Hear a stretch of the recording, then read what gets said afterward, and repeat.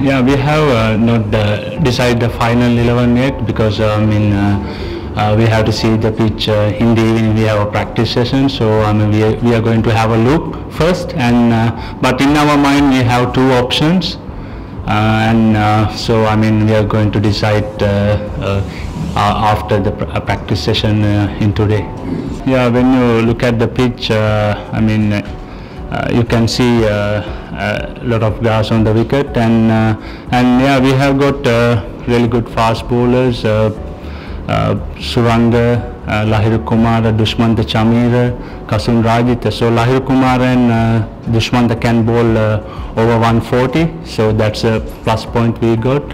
As I said earlier if, if you are bowling first we can get early wickets so that will be crucial because uh, we never underestimate Australia team and uh, uh, they have got really good players but uh, in their batting unit uh, they have missed a lot of experienced players so if we can get early wickets uh, we can put them under pressure.